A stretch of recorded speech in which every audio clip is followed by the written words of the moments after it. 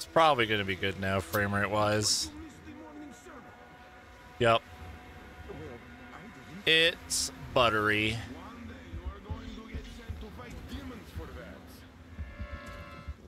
Smooth as heck. I just shot the gun. All right.